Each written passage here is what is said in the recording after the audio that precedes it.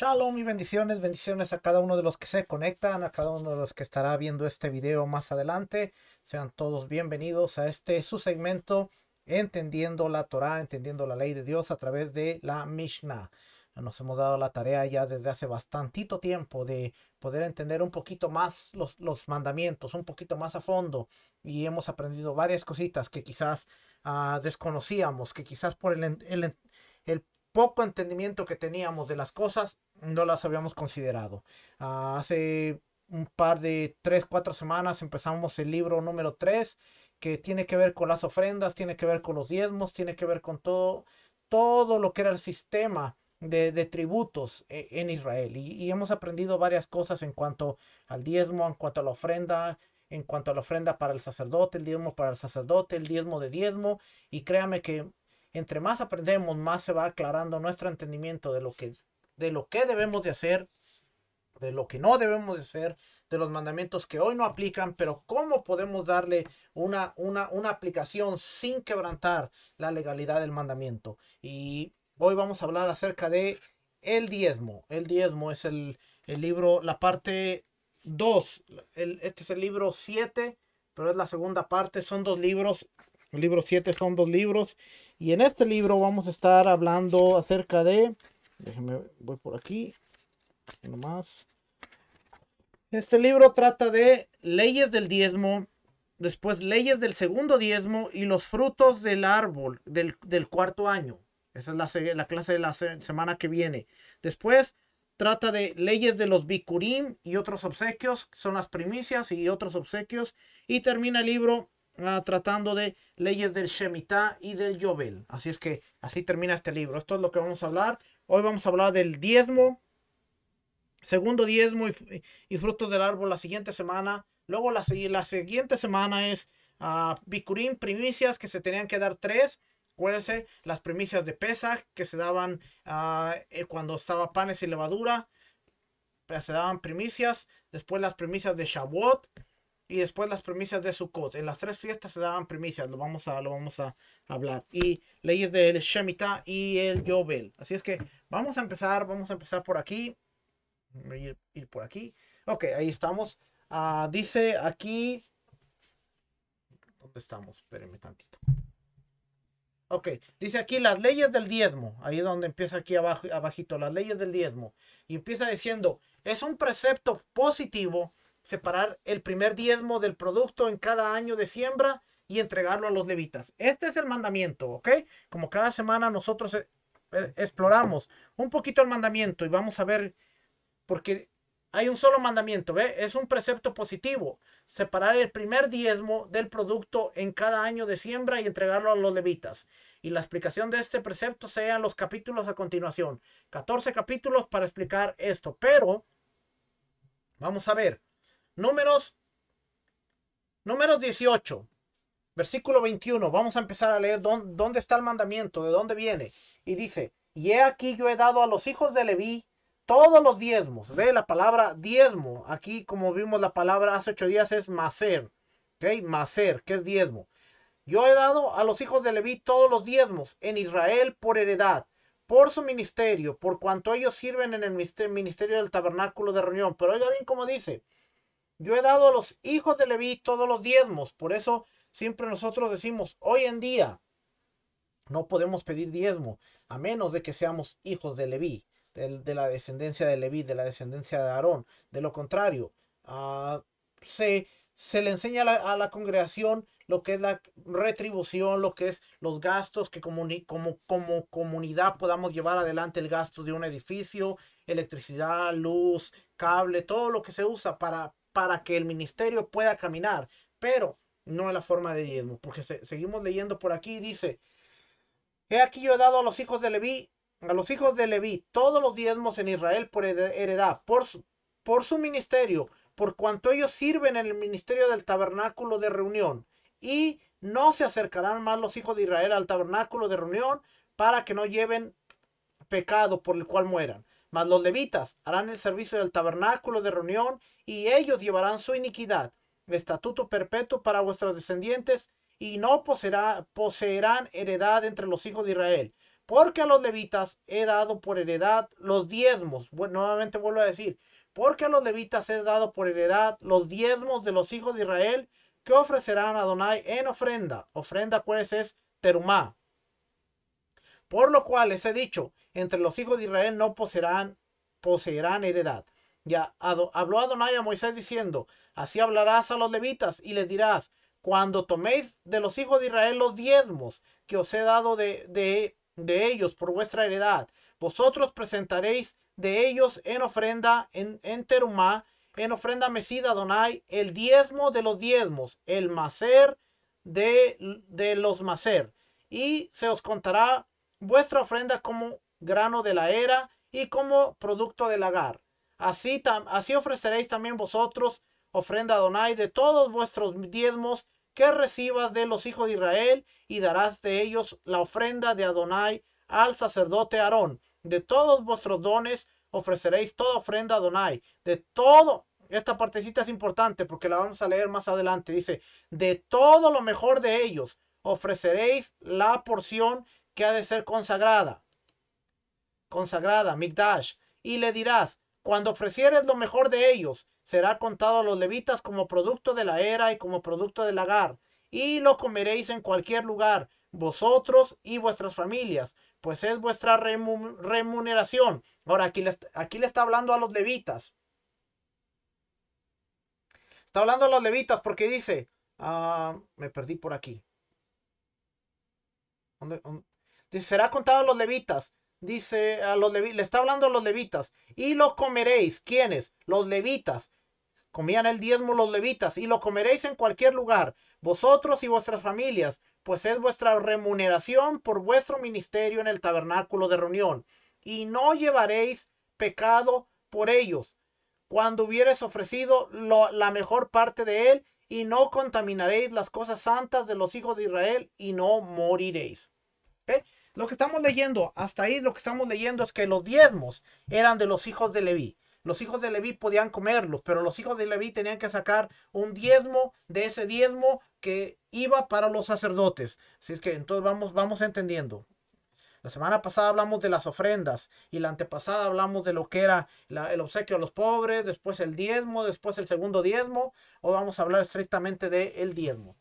Entonces, uh, vamos a ver eso lo encontramos en números 18 del capítulo 21 hasta el capítulo 20, 32. Es, es lo que está ahí en cuanto al diezmo. Porque acuérdese, acuérdese, el Mishneh Torah nos dice que es un, un mandamiento positivo. Nada más nos dice separar el diezmo, pero no nos habla de más. Ahora, ya, ya vimos a través de la Biblia dónde está el mandamiento, a través de la Biblia. Ahora vamos a ver Tariag Misbots, el, el libro de los mandamientos. Vamos a ver. ah, Aquí está. Aquí está. Números 18-24. Mandamiento performativo. Los diezmos de los hijos de Israel que ofrecen como ofrenda elevada a, a Hashem los he dado a los levitas. La esencia es una, es una misma, es un mandamiento. Presentar a un levita una décima parte de todo lo producido. Oiga bien, de todos lo producido. Este diezmo se llama Maser Rishon, el primer diezmo. Leyes. Antes de separar el Maser Rishon, primero se debe separar la terumá, ya la vimos la semana pasada, que se entrega a un Cohen. Todos los que cosechan productos, todos, quienes, todos los que cosechan productos deben separar el primer diezmo, incluidos un Cohen y un levita. Sin embargo, los dos últimos pueden quedárselos para sí mismo. Cualquier producto del que no se separó el primer diezmo y la terumá sigue siendo tebel o prohibido. El, el primer diezmo no alcanzó santidad. A levita le fue permitido dárselo a, a, cualquiera que quisiera, incluso una persona ritualmente impura. El segundo diezmo, sin embargo, alcanzó un estatus de santidad. ¿Por qué? Porque el segundo, diez, el segundo diezmo normalmente se comía en Jerusalén. Y como había que subir a, a la ciudad, entonces esta ofrenda, este diezmo, adquiría un nivel de santidad más elevado. El, primer diezmo era dado al, al, levita y el levita se lo podía dar a, quien, a quien quisiera. No era como la terumá. ¿Se acuerda que la terumá hablamos la semana pasada que se le daba al Cohen, al sacerdote, y él no podía dárselo a, su mujer o a su hija si, si no estaban puras? Entonces hablamos del evento de Esdras. Por eso es que ellas no podían comer de esa ofrenda terumá, pero el diezmo sí lo podían comer. Seguimos leyendo por aquí. Dice aquí Perspectivas. A los leviim, a los levitas se les concedieron estos beneficios en una manera respetuosa, a cambio de su total participación en el servicio de Hashem en el Beit Hamidash. Además, al tener el estatus de siervos del rey, es apropiado que las necesidades de los leviim, de los levitas, sean atendidas por otras. Y aquí es donde podemos entender la perspectiva de dar el diezmo a los levitas era porque los, los levitas no tenían tierra el trabajo de los levitas era enfocarse en su tarea, que, que era, ah, podían ser cantores, podían ser panaderos, podían ser, podían tener muchos trabajos que realizaban en el templo, en el tabernáculo. Entonces estaban todo el tiempo trabajando, enseñando la Torá, dirigiendo al pueblo y como, y como remuneración eh, el padre dijo, bueno, ustedes no tienen un trabajo, entonces ahora los israelitas les van a traer el diezmo, porque su trabajo es, trabajar, es, estar en mi casa haciéndola funcionar, por lo tanto, no se tienen que preocupar de nada más. Eh, son siervos del rey, es apropiado que sus necesidades sean atendidas por otros. Y esa, en sí esa es la esencia. Ah, ¿Qué podemos aprender de ahí? Que aunque, aunque los pastores, aunque los ministros, aunque la gente en sí no son levitas, pero muchos de ellos se enfocan en estar estudiando, estar, estar validando información para poder traer una enseñanza que, que le bendiga, que le haga crecer, que le ayude. Y en ese caso, aunque no damos el diezmo, pero somos, somos recíprocos en decir, le voy a, voy a dar voy a darle una ofrenda a tal maestro, a tal pastor, a tal que me está enseñando. Pero cuando usted da su diezmo, como lo hacían en el sistema de creencia tradicional, que le exigían el diezmo, le pedían el diezmo y no le enseñaban la Biblia, sino que le enseñaban un mensaje motivacional que a los 10 minutos ya se le había olvidado lo que predicó el pastor.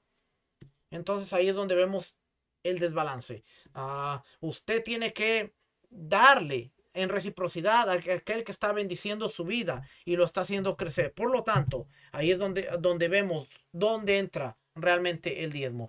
cuando usted va a un restaurante, usted, usted quiere, usted quiere pagar una comida que le nutre y que le, que le, que le sabe buena, pero si va a un lugar en donde la comida no, no le gusta, no está buena, hasta dolor le va a dar pagar. Y lo mismo, lo mismo es hoy en día, ¿ok? Aunque, aunque no se puede pedir diezmo por que no son levitas, pero tenemos que ver siempre el el esfuerzo y el trabajo que está haciendo la persona que nos está bendiciendo constantemente, que nos está dando material, que nos está dando recursos constantemente y de alguna manera ser recíproco, porque esa, esta gente, de alguna manera es su trabajo, pasan horas y horas y horas estudiando para bendecirnos. ¿Qué hacemos nosotros? Ah, sé que no es levita, sé que no el diezmo no está activo eh, hoy en día, pero voy a tomar una ofrenda y voy a bendecir a, este, a estas personas que, que nos bendicen constantemente. Y es como lo podemos ver hoy en día. Pero seguimos leyendo por aquí. Dice... Dice aquí este... Este Midrash que, que está aquí me llama la atención. Déjeme se lo leo. Fíjense lo que dice aquí. Solo el 1%. Había una vez un hombre que era dueño de un campo que producía miles de fanegas de trigo cada año. Cumplió con su obligación de macer, de diezmo, cada año, separando 100 fanegas de trigo después de cada cosecha. Le daba mil, él separaba el 10%, 100. Un año, sin embargo, un pensamiento tentador cruzó su mente. ¿Por qué tengo que regalar una cantidad tan enorme para macer, para diezmo? Este año necesito unos cuantos dólares para remodelar la casa. Además puedo usar un buey extra en la granja 90 fanegas de trigo, que es el 9%, en lugar de 10, serían suficientes para los diezmos. Pero al año siguiente, cuando contó la nueva cosecha, solo había 900 fanegas de trigo. Razonó para sí, para sí mismo, que debió haber sido un mal año para las cosechas.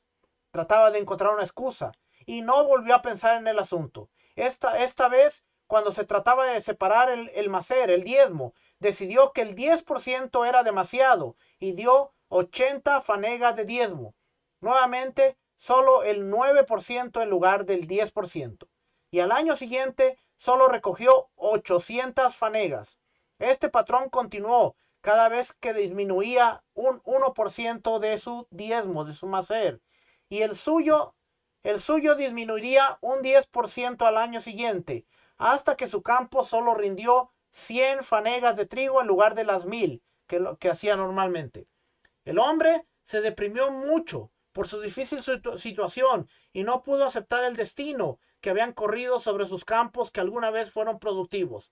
Una mañana, enfrascado en sus sombríos pensamientos, el granjero escuchó un alboroto frente a su casa. Se asomó por la ventana y para sorpresa notó una multitud de sus parientes reunidos afuera con sus ropas de Shabbat, como si estuvieran listos para asistir a, a algún tipo de festividad. Él salió y les preguntó, ¿Cuál es la ocasión para la cual están todos vestidos? ¿Has venido a celebrar mi gran desgracia? Yo fui castigado del cielo. ¿Por qué tanto alboroto? Y sus parientes respondieron, no, no, no vinimos a regocijarnos por tu desgracia. Has Besholem, que el cielo lo, lo prohíba. Al contrario, vinimos a unirnos a ustedes en su regocijo, porque en años anteriores, cuando separabas el macer, el diezmo correctamente, eras el dueño. Y Hashem, por así decirlo, fue el Cohen quien aceptó, quien lo aceptó de ti. Pero ahora que te volviste negligente en la separación adecuada de, de, tu macer, de tu diezmo, Hashem es el dueño, por así decirlo, quien está reteniendo el trigo en su tesoro y te está dando el macer, el 10% solamente. Te estás fanegas de un millar posible. Si ese es el caso, te has convertido en el Cohen y estamos aquí para felicitarte por tu nueva posición. Él comprendió su mensaje bien intencionado y a partir de entonces resolvió nunca disminuir su macer ni siquiera en 1%. Este es el Midrash Tanjumá. Es un cuento, una historia que, que, nos, que nos está tratando de transmitir un mensaje. Él era el dueño y como decidió ir rebajando no, ya, ya no voy a dar el 10, voy a dar el 9, voy a dar el 8, voy a dar el 7, hasta que eventualmente de mil manojos de trigo, fanegas, ah, solamente empezó a recibir 100. Eso quiere decir que ahora estaba recibiendo el 10% de lo que recibía cuando el, de, lo que, el 10% de lo que cosechaba antes cuando el campo era fructífero. Y por eso ahora ellos están diciendo, bueno, antes tú eras el, el, el dueño, daba 100 Hashem, por así decirlo, era el Cohen, era el sacerdote que estaba recibiendo el diezmo de ti. Ahora que tú, ahora que tú recibes 100, tú eres el Cohen y Hashem se está quedando con todo lo demás que te, te, debía de tocar a ti, pero no te, no te está tocando, sino que ahora solo está recibiendo lo que antes era el 10%. Ah, un cuento que nos deja decir si, si esta gente ah, es negligente con la, a la hora de dar entonces el cielo también está viendo ah, que de alguna manera nosotros estamos reteniendo la bendición. Mandamiento 396. Entonces separarás de ella como ofrenda elevada a Hashem la décima parte del diezmo. Es una misma, es un mandamiento para el levita, levita. Separar de la, de, separar una, una, una terumá, una ofrenda adicional que le da un Cohen. Esta terumá se llama a Masher, a diezmo del diezmo, o la terumá del diezmo. Esa terumá tiene las mismas leyes que la terumá regular. Esos son los dos mandamientos. Quería, quería mostrarle esto para que vea de, dónde sale la Biblia, cuál es la explicación que nos da el Tariach Misbot, el libro de los mandamientos, y ahora sí vamos a ver cuál es, qué es lo que podemos leer a través de, de lo que es la Mishnah. A todo esto para que vea que no solamente viene de, la Mishnah. Entonces estamos aquí en las leyes del diezmo. Ya leímos esto y dice capítulo 1. Después de que se separa la terumá gedolá, la ofrenda a la ofrenda mayor, se separa una décima parte de lo que queda. Y esto se denomina uh, Maser Rishon o primer diezmo, sobre lo cual está dicho, pues el diezmo de los israelitas que deben entregar como ofrenda terumá a Hashem Número 18-24, ya lo leímos. Y este diezmo es para los leviim, los levitas, hombres y mujeres, como expone, y a los levitas les di como herencia todo el diezmo de los israelitas, también ya lo leímos. El primer diezmo está permitido para el consumo, para Israel, y está, y está permitido comerlo en impureza, pues no tiene ninguna santidad en absoluto. Y en todo lugar en la Torá, en el que está dicho respecto del diezmo, santo o redimir, alude al segundo diezmo. ¿Y de dónde se aprende que el primer diezmo es mundano o que no tiene un nivel de santidad?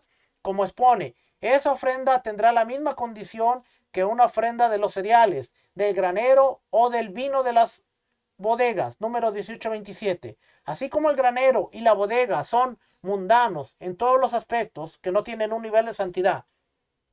Cuando leemos mundano aquí en la Mishnah es que no tiene un nivel de santidad. No es que es del mundo ¿eh? o, que está mezclado con el mundo. No, sigue siendo algo, algo santo, pero no tiene el nivel de santidad. Es algo común, no es algo separado.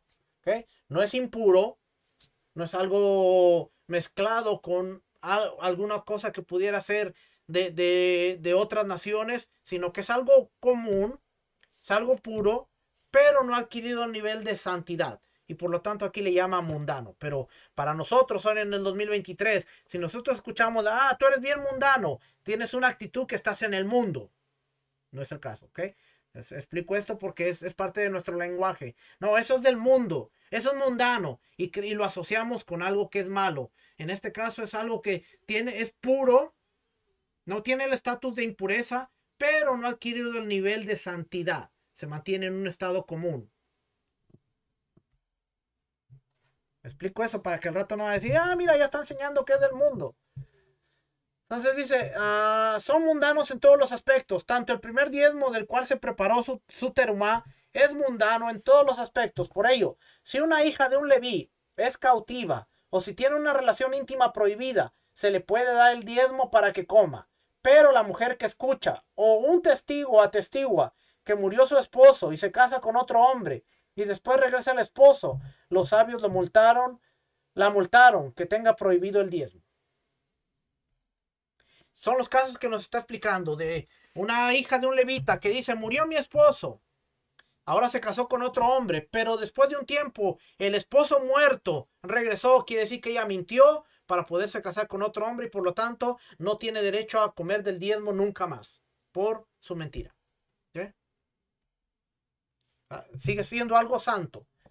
Los levitas y los, y los cuanim, los sacerdotes, deben separar el primer diezmo para separar de ello la terumá maser. Asimismo, los, los separan las otras terumot y los diezmos, ofrendas y diezmos para sí mismo, siendo que los cuanim reciben de todos.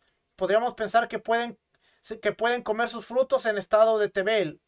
Para negar esta posibilidad, el versículo dice, así separarán terumá también ustedes. Y por transmisión oral aprendimos que ustedes alude a los leviim, los levitas, y también ustedes para incluir a los sacerdotes. ¿Qué quiere decir?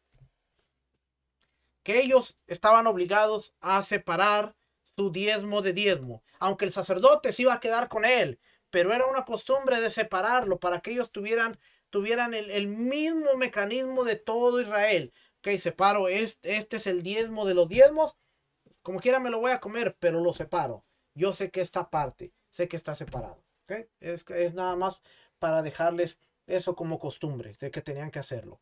Eh, se les quedaba a ellos mismos, no se lo tenían que dar a nadie más, se les quedaba, pero decían, ok, esto es el 90, este es el 10%, ok, ya lo separé y ahora puedo comérmelo.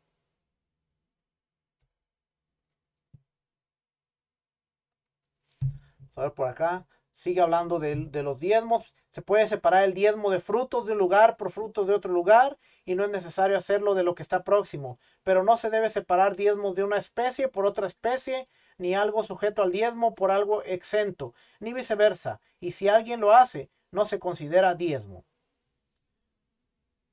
Ellos no podían separar, decir, voy a separar el diezmo de los higos, de, de las uvas, porque son dos diferentes especies. No se podía. Usted puede separar diezmos de higos de otro tipo de higos, pero eran siempre la misma clase. No podía, no podía separarlo de diferentes ah, clases. El 13. Ahora brincamos hasta el 13 y dice el 13.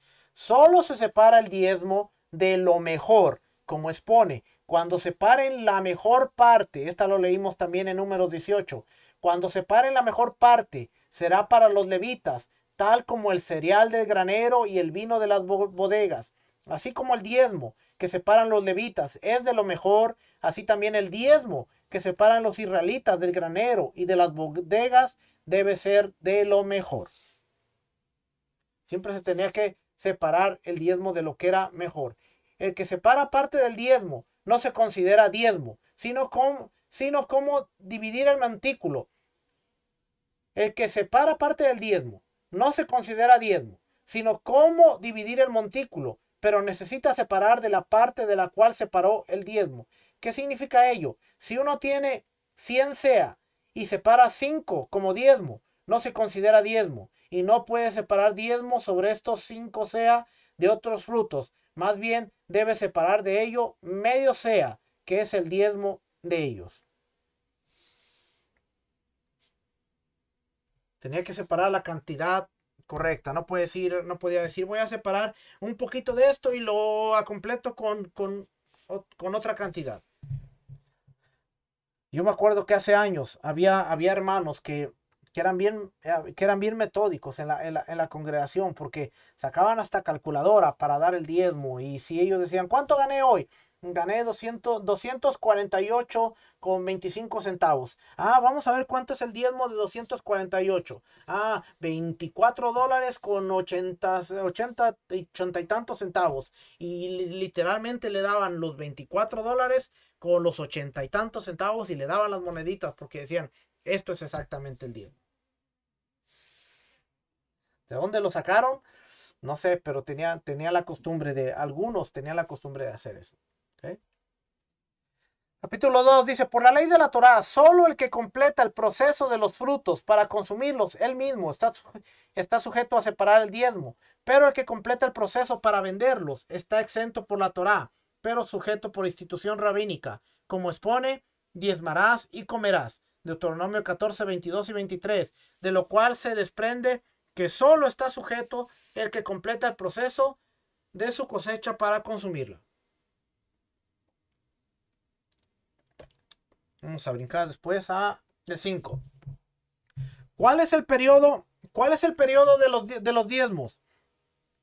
Desde, desde que el, ¿Cuál es el periodo de los diezmos? Desde que llega, desde que los frutos llegan, desde que los frutos llegan a producir semilla que puede sembrarse y crecer, todo de acuerdo a cada fruto. ¿Cómo es ello? Los higos, desde que se ablandan de modo que se pueden comer, luego de 24 horas después de su recolección. Las uvas y las beushim, que son las pequeñas uvas silvestres, desde que su pepita, desde que se vea su pepita desde afuera. Las granadas, desde que las semillas se deshacen entre los dedos y salga de ellas líquido. Los dátiles, desde que se inflen como la levadura. El durazno, desde que aparecen hilos rojos en ellos. Las nueces, desde que se separa el alimento de su cáscara exterior. Las almendras dulces, cuando su cáscara exterior se cae, pero las amargas están exentas para siempre. Y el resto de los frutos con cáscara, como los estrobilos, castaña y pistacho, desde que se forma la cáscara interior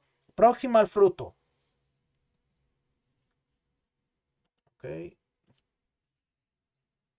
Las aceitunas, desde que pueden producir una novena parte de aceite de lo que producen ya maduras. Esto es un tercio de su crecimiento. Las manzanas, los cetroguín, desde que se vuelven redondos, porque son comestibles cuando son pequeños. El fruto del rush coriaria y las moras, desde que se vuelven rojos. Asimismo, todo fruto que se vuelve rojo, desde que se vuelve rojo. Las algarrobas, desde que tienen puntos negros. Asimismo, todo, todo fruto que se vuelve negro, desde que tienen puntos negros. Los damascos, las peras, el membrillo, las usa, usrarín, desde que adquiere, desde que adquieren peladas blancas. Asimismo, todo fruto que se blanquea, desde que adquiere sectores blancos. En el caso de los granos, desde que crece un tercio, la al, al, desde que su semilla es apta para brotar en caso de ser sembrada. En el caso de la verdura, los calabacines, las calabazas, sandías, pepinos y similares están sujetas cuando son pequeñas, como explicamos, y el resto de las verduras que son que solo son comestibles cuando crecen, solo están sujetas cuando están aptas para su consumo. Ahí es cuando se empezaba a separar el diezmo. Capítulo 3. Los frutos que llegaron al periodo del diezmo y fueron cosechados, pero todavía no se completó su proceso, como granos que fueron cosechados y trillados, pero todavía no se les aventó ni alisó. Está permitido consumirlos espontáneamente hasta que se complete su proceso. Y cuando se completa el proceso, está prohibido comerlos espontáneamente antes de separar el diezmo. ¿Se acuerda del, del, grano? Que se desgranaba y se hacía todo el proceso, después se aventaba, se sarnía hasta que quedaba el, el grano puro. Bueno, dice, antes de que esté el proceso completado, tú puedes comer eventualmente. No una gran cantidad, pero eventualmente puedes comer de esa cosecha nueva.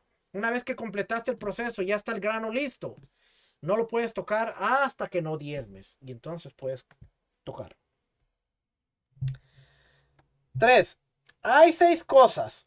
O, dos. Dice, ¿en qué caso se aplica lo antedicho? Cuando completa el proceso de sus frutos para venderlos en el mercado. Esa es la clave. Cuando ya todo está listo para ser vendido, entonces se tiene que diezmar de ello. Pero si su intención es llevarlos a la casa, está permitido consumirlos espontáneamente después que se completa su proceso hasta que se establezca obligatoriamente para el diezmo.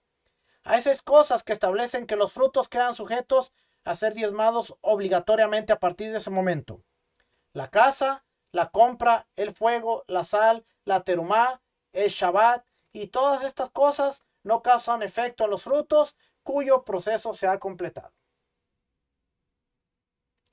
Vamos a leer ahora. a esta parte sigue, sigue hablando de lo que es ah, permitido y cuándo es permitido. Capítulo 4. Creo que en el capítulo 4 no hay nada. Bueno, aquí el, el, el 15. Si hay una higuera en un patio, se puede comer de, de, a un higo y se está exento. Y si se, y se acumula, está sujeto al diezmo. ¿En qué caso aplica? ¿En qué caso aplica esto? Cuando está de pie en el suelo. Pero si sube arriba de la higuera, puede llenar su regazo y comer ahí, ya que el espacio aéreo del patio no causa obligación para el diezmo. Si la higuera está en el patio, pero inclinada hacia el jardín, puede comer en el jardín normalmente como si estuviera plantada, se considera plantada en el patio, que no se puede comer sino de a uno. Cuando hay una vid plantada en el patio, no se debe tomar todo el racimo y comerlo, sino de a una uva. Y lo mismo con la granada. No se debe tomar toda la granada, sino se debe desglosar las semillas y comerlas ahí. Y lo mismo con la sandía. Debe dejarla en el suelo y comer sin cortar con cuchillo o similar. Si uno está comiendo un racimo en el jardín e ingresa al patio, a pesar de que salió del patio, no puede continuar hasta diezmar. Si hay cilantro sembrado en un patio, puede arrancar de una hoja e ir comiendo. Y si, si lo acumula, debe diezmar. Y lo mismo se aplica a casos similares. Nos, nos, está diciendo cuándo se tenía que diezmar. Si tú vas comiendo de una, una uva, una uvita, pues no tienes que diezmar todavía. Pero cuando empiezas el proceso de cosechar y que juntas ya por montones, entonces ahí, ahí sí tienes que cosechar antes de poder comer. Esto es lo que está explicando aquí. Después, capítulo 5, capítulo 6, capítulo 7. Si uno tiene 100 logs, 100 logs de vino, que es considerado tebel, por la Torá, dice, dos logs que se pare de estos frutos son terumá, ofrenda, y 10 son primer diezmo, y 9 son el segundo diezmo. No debe comenzar a beber y dejar al final la medida de la terumá y los diezmos, sino más bien primero debe separar y después beber, no decimos que lo que deja al final es como si hubiese sido separado en un principio, porque el deber de terumá y diezmos es de la Torá, y en caso de la Torá no consideramos que fueran fuera separado hasta que de hecho sea separado. Lo tiene un barril de vino y dice dos, dos logs, que son dos medidas, son son la terumá para el sacerdote. Después 10 son el diezmo y 9 son el segundo diezmo. Son 21, 21 medidas de este barril de 100. Eso es lo que está separado para darlo a, a, Dios a través del diezmo, la ofrenda. Tú no empiezas a beber y dejas al final los 21, como decir esto es lo que quedó, esto es lo que se había separado, sino los 21 primero se ponen aparte y después comes. Es como cuando nos enseñaban en el, sistema tradicional. ¿Se acuerda que le, que le enseñaban? Cuando usted agarra su cheque, lo primero es de Dios. Separe y separe el diezmo y eso es de Dios. Y después lo demás es para su casa. ¿De dónde cree que viene ese concepto? Viene de la Torah. Pero, eh, pero aunque es correcto, se estaba aplicando erróneamente. Porque así debe ser. O así era. Eh, lo primero era mi compromiso con Dios cumplo y después todo lo que queda entonces sí consumo. No es, ah, mira, aquí tengo 100, voy a tomar hasta donde llegue lo que voy a dejar y eso ya es... No. Y, a veces... a veces nosotros hacemos así. Siendo sinceros, a veces nosotros hacemos así. Porque agarramos el, cheque y cuando dábamos el diezmo, agarrábamos el cheque y, y gastábamos, pagábamos y hacíamos y al final, ah, por lo que quedó, y, si, y si quedó la cantidad, pues el diezmo. Y si no quedó, pues lo que haya quedado. Ahí va como, como diezmo. Ah, no le estoy diciendo que ahora lo tiene que hacer así. Pero para que se ponga a pensar que como esa es nuestra mentalidad, a veces nosotros seguimos pensando así. Que lo que sobra, lo que queda al final, lo que ya está, lo que ya después de haber cumplido con todo, es lo que disponemos para ah, ofrendar, para ofrendarlo, para traer reciprocidad, para tributo, para lo que hacemos, pero ya es lo que, ah, lo que queda al final. Y yo creo que nuestra mentalidad debe cambiar, porque no es lo que queda al final, sino debería ser lo principal. Esto es lo que voy a separar para darle una ofrenda al maestro, para darle una ofrenda al pobre, para dar una ofrenda a esto. Esto es lo que voy a separar y lo que queda al final, pues ya es lo que yo, lo que yo tengo para, para mi casa, para mi hogar. Esa debería ser nuestra mentalidad. El que designa sus, sus diezmos en la parte superior de un barril no debe beber toda la parte inferior, ni viceversa, porque el líquido está mezclado. Pero el que designa la parte superior de un depósito de granos puede comer de la parte inferior o viceversa. Ahora, ¿cómo come de la parte inferior? Si la parte superior está primero. Uno tiene derecho de designar frutos como segundo diezmo, redimirlo y luego hacer los primer diezmo por esos frutos, o terumá, macer o por otros frutos. 6. ¿Cómo debe ser, cómo debe hacer las separaciones en favor de ellos? De sus frutos separa la terumá. Nuevamente nos vuelve a decir el orden aquí. De sus frutos separa la terumá. Primer diezmo o el diezmo para el pobre y se los transfiere por medio de otra persona a ese Cohen, Leví o pobre, el cual, al cual le prestó. Y estos, y solían tomar los diezmos de él y él solía dárselos a ellos. Aquí está hablando, bueno, para que entendamos ese punto, vamos a, vamos a leer el 4, porque el 5, me brinqué el 5. Fíjese lo que dice el 5. El que le presta dinero al Cohen, a Leví y a un pobre para para, en un lugar de que estos le, devuelven el dinero, separar de los frutos que le corresponden a estos y así cobrarle la deuda. Puede separar bajo la presunción de que está, están en existencia y no sospecha que el Cohen o Leví haya muerto o que el pobre haya enriquecido. Usted le prestó dinero a un Cohen, a un levita, a un pobre, pero a, a, través de estos diezmos usted dice, yo me voy a cobrar con este diezmo.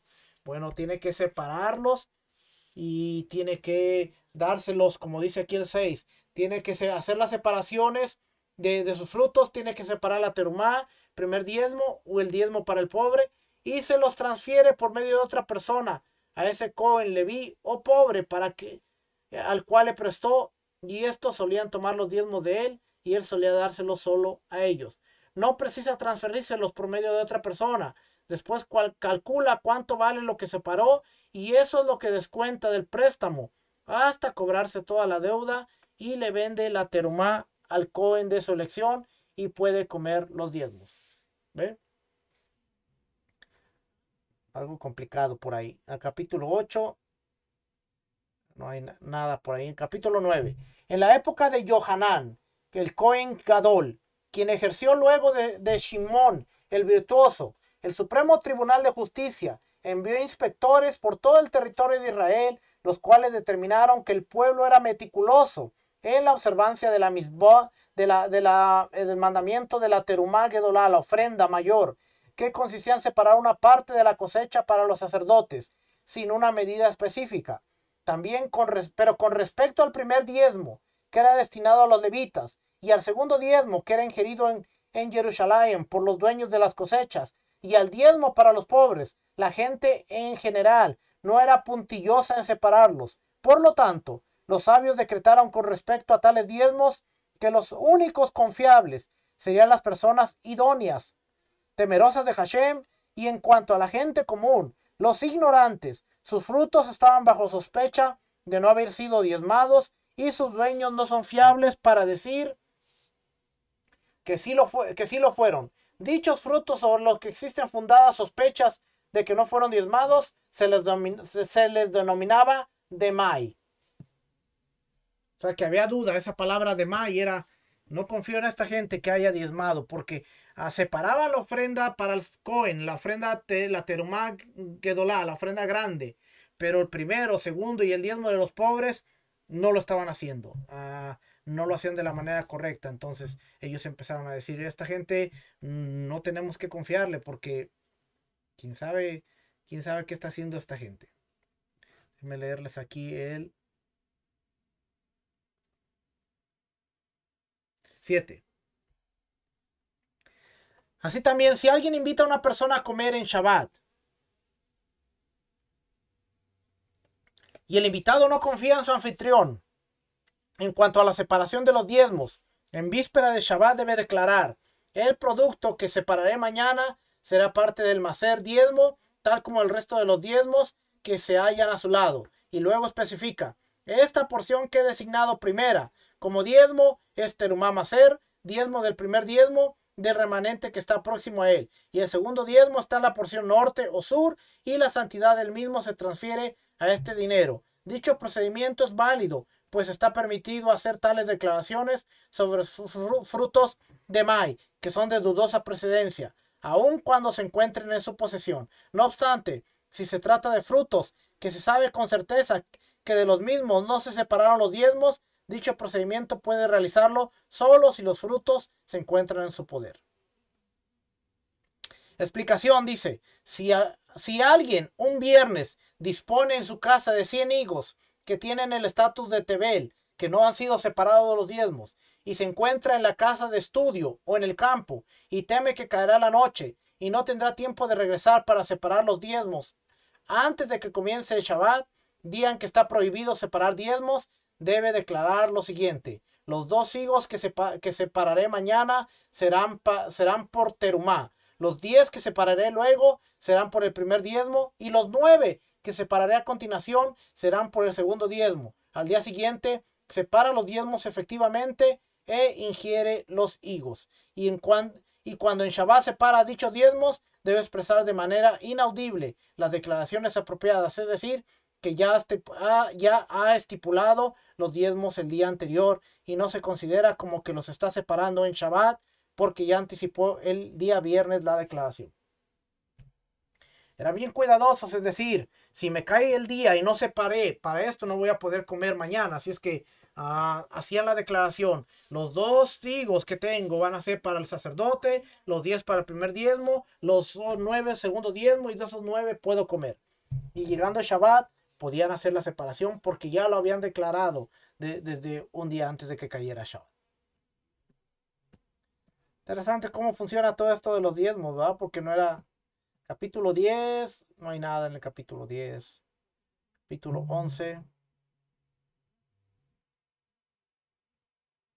Capítulo 12.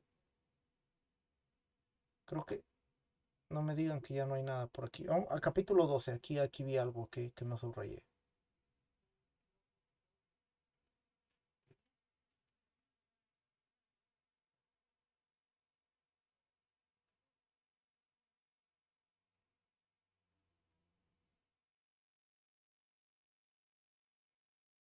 Cuatro, dice, si vemos a una persona no fiable respecto de los diezmos, que separa terumama ser de sus frutos de maíz, que son uh, dudosa procedencia si los separaron o no, y vemos que la porción separada vuelve a caer, no importa si a la canasta o otro lugar, y luego viene y dice que separó nuevamente la terumama ser, podemos confiar en él.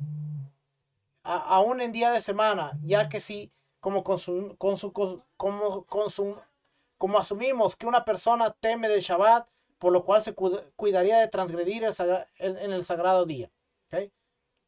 se, se ganó el confiar. Capítulo 13.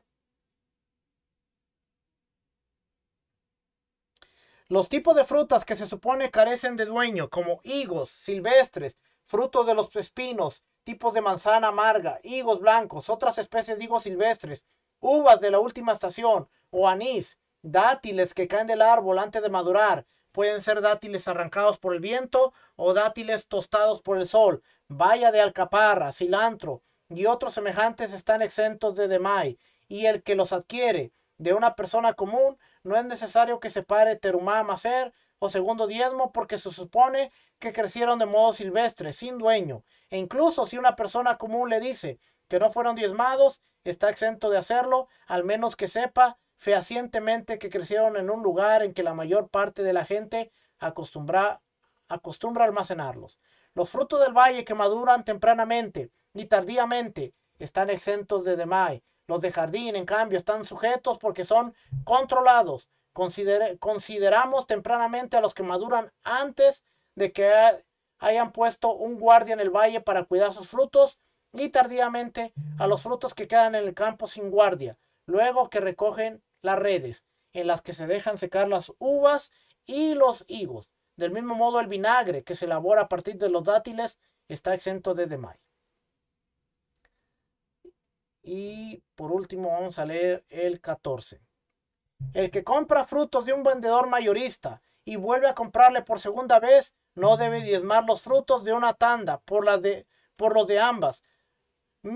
Por lo de ambas, mismo si son frutos de la misma especie y están en la misma canasta y puede reconocerlos, de modo que puede presumir que ambas tandas de frutos fueron adquiridas del mismo proveedor. O sea, no tiene que diezmar de las dos, de las dos veces que compró sino solamente de una.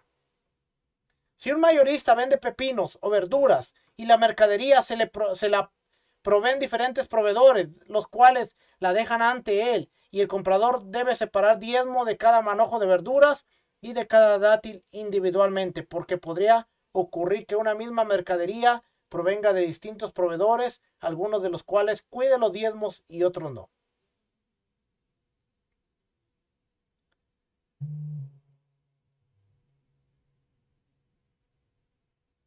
Ese, es el final. Vamos a leer esta al 7.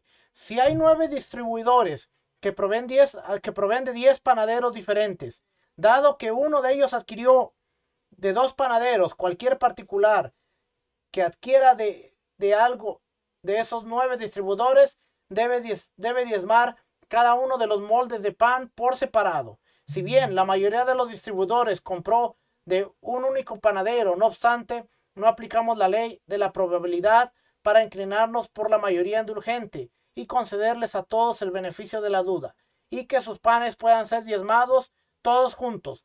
Más bien, dado que se trata de un caso en que la duda ha sido generada por la acción de alguien, como en este caso, en que fehacientemente los distribuidores adquirieron de sus proveedores, ignoramos la mayoría, ignoramos la mayoría y a cada uno de los distribuidores le asignamos el 50% de probabilidades de que haya sido él el que adquirió sus panes de dos panaderos diferentes. Una panadería que tiene nueve distribuidores y los nueve le traen pan. Ahora tiene que diezmar de cada uno de los nueve y no juntar todo el producto, como decir, diezmo de todo esto. ¿Por qué? Porque no se sabe si esa, la gente que está distribuyéndole siguió las reglas o no. Y por último, 8 y 9. El que compra de un pobre, o el pobre que recibe hogazas de pan, o torta de higos secos, debe diezmar cada uno individualmente, pero dátiles o higos secos, junta todo y diezma. ¿Cuándo se aplica ello? Cuando el regalo que recibió fue abundante, pero si fue escaso, debe diezmar de cada regalo individualmente. Si el regalo es abundante, se presume que el donante es generoso y entregó los productos diezmados y que el pobre debe diezmarlos de y que el pobre debe diezmarlos es mera exigencia. Si el pobre muele el pan y lo desintegra en migajas y a los higos secos los muele y los hace pastel, diezma la cantidad total, puesto que el pan y el pastel de higos se consideran regalo abundante. Trabajadores o invitados que estaban sentados comiendo y dejaron rebanadas de pan, se debe diezmar de cada hogaza individualmente. No debe diezmar todo junto por las dudas de que algunos trabajadores o invitados hayan diezmado su pan y otros no, por lo que podría llegar a diezmar de un tipo de producto para otro. Fin de leyes del diezmo. Yo sé que fue un poquito confuso todo esto de diezmo, el diezmo, separar del diezmo, pero ¿cuál es la enseñanza que aprendimos el día, el día de hoy? Que tenían que, tenían que ser, tenían que ser bien responsables con la separación del diezmo. Había gente que no lo hacía y esto generaba dudas en cuanto si al producto que uno adquiría era un producto del cual se había diezmado o no. Si no se había diezmado, entonces el que compró el producto tenía que diezmar de ese producto para evitar que, que, fuera algo que no se hubiera diezmado y por lo tanto estaba prohibido comer de él. Ahora, todo esto que estamos hablando, estamos hablando de la tierra de Israel. Hoy en día no quiere decir que usted va a diezmar de todo lo que usted compra, de todo lo que usted consume, de todo, sino simplemente tenemos que entender que esto que estudiamos, es para saber cómo, cómo funcionaba la economía de Israel, cómo funcionaba el, sistema de tributario, el sistema de, ofrendas, de diezmos. como usted puede ver, lo más importante es, ellos tenían la cosecha, ellos tenían los frutos, tenían los viñedos, separaban una cantidad pequeña para el sacerdote, que era la terumá gedolá, después el primer diezmo, que era el 10% de lo recolectado, después el 9% de eso que quedaba era el segundo diezmo, que era el que se subía a Jerusalén para, para comérselo allá, o en el tercero y en el, en el tercero y quinto año se le daba al pobre, al levita, al huérfano, al extranjero, para que ellos comieran. En el año segundo, en el año cuarto, en el año sexto, se subía a Jerusalén y el dueño que separaba ese diezmo se lo comía en Jerusalén, invitando a levita, invitando a los sacerdotes, pero era el que se comía él, tenía que separarlo. Y después estaba el tercer diezmo. ¿ok? Así que tenemos el primer diezmo, el segundo diezmo. Y como usted puede ver, no era cosa tan fácil que como lo hemos visto. Y este diezmo, aún los sacerdotes, aún los levitas, tenían que, la obligación de separar de lo que ellos recibían. Tenían la obligación de separar para que fuera una costumbre para ellos. Hacer lo mismo que sea todo Israel de decir, este es el 10% de esto, como quiera, se lo comían. O lo podían dar a alguien más si ellos querían, pero si no, se podían quedar con él y podían comerlo. ¿Por qué estudiamos todo esto? Porque es parte de los mandamientos, es parte de los 613 mandamientos, que muchos de ellos no están aplicados, ah, no se aplican el día de hoy, pero es bueno saberlos, porque uh, este sábado vamos a hablar acerca de ello, porque inclusive, dice este libro, este libro de aquí, el libro que es el que este libro que es el que estoy leyendo para el, para el sábado, que es la Enciclopedia de los Mandamientos. Dice este libro que el estudiar los 613 mandamientos, aún los que no se aplican y aún los que no aplican a nosotros, estudiarlos es como si uno los estuviera haciendo y, y uno tiene el conocimiento. Y vamos a, vamos a aprender el sábado cosas interesantes en cuanto a los 600 613 mandamientos, por qué los estamos estudiando, para qué los estamos estudiando, qué ganamos con estudiarlo y como hemos visto esto de las ofrendas y los diezmos, realmente nos, está, nos están enseñando cosas que no sabíamos, cosas que desconocíamos, cosas que nos habían enseñado, cosas que habíamos aprendido, ah, mala información que teníamos en cuanto al diezmo, en cuanto a la ofrenda, uh, pero con este tipo de cosas, este tipo de información, estamos arreglando, estamos arreglando los conceptos para ser mejores y para poder ser mejor, mejor y más eficientes a la hora de observar los mandamientos. ¿Qué podemos hacer hoy en día? La gente me dice, pero si hoy en día no hay templos, si hoy en día no hay sacerdotes, no hay levitas, ¿qué podemos hacer? Hacer lo mejor que esté en cuanto a nuestra responsabilidad. Si, si no podemos dar el diezmo, pero sí podemos ayudar al huérfano, a la viuda, al necesitado, y podemos de alguna manera ser recíprocos con aquellos que nos están alimentando. Ah, con, con las enseñanzas de la Torah, hagámoslo. Que es lo, que es lo, es lo, es lo mejor que podemos hacer. Ya de ahí en adelante, cuando estemos en la, en la tierra del rey, se nos asigne un pedacito de tierra. No les sorprenda cuando digan tienes que diezmar y tienes que hacer esto y tienes que hacer lo otro. Porque cuando el Mesías venga y la Torah esté rigiendo en el mundo entero, ya sabemos qué va a pasar. Familia, toda la clase del día de hoy, la próxima semana vamos a hablar leyes del segundo diezmo y los frutos del cuarto año. Son 14 capítulos, creo. Hoy vimos 14 capítulos, no, los brincamos. Algunos no los leímos porque no había alguna información buena, pero pasamos 14. La siguiente semana son 11 capítulos que sí vamos a estar leyendo, muchos de ellos por, para ver cómo aplicaba el segundo diezmo y cuál era, la, cuál era la relevancia de los frutos que solo se podían dar en el cuarto año, no antes. Pero ¿y qué pasaba con el fruto del primer año, segundo año, tercer año? Eso lo vamos a ver la próxima semana. Mira que el Eterno les bendiga, que el Eterno les guarde. Espero que haya sido de bendición la enseñanza. Nos vemos la próxima semana. Shalom, bendiciones. Shalom.